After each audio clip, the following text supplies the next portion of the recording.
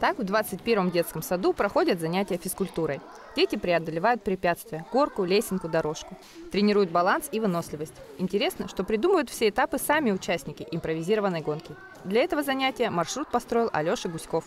Я составляю трассу из много частей. И там ну, мягкие детали, твердые детали, батуты, не батуты, какие-то упражняющие детали. Нужно перелазить это все, бегать и быть аккуратным, чтобы не упасть и себе ничего не навредить. Надоел маршрут, перестановка, и ребята с энтузиазмом проходят новые этапы. Это было очень весело. И, и еще, еще э, я очень много э, изменил на этой полосе препятствий. Я хочу ее сейчас попробовать пройти.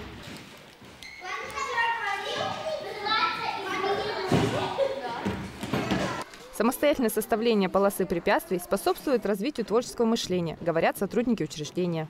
Очень важно, когда они сами ее собирают, то есть это их идеи, это их мысли, э, и, соответственно, с удовольствием проходят эту полосу препятствий. Тут же они ее могут видоизменять и развивать себя не только физически, но еще и интеллектуально. Такие физкульт-минутки здесь пользуются популярностью. Но дети и их родители предложили не ограничиваться во время игры стенами детского сада и создать полосу препятствий на уличной территории.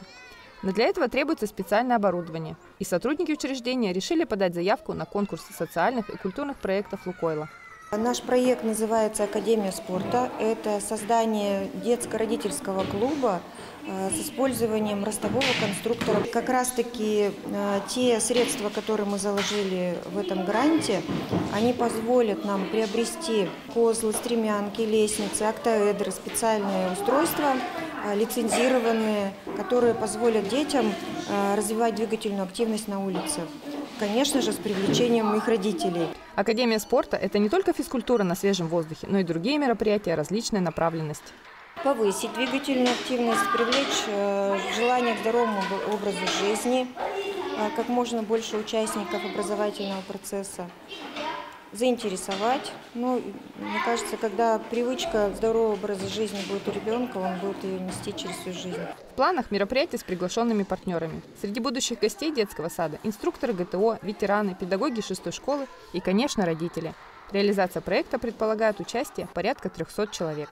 Елизавета Портнова, Александр Кашкин. Наши города.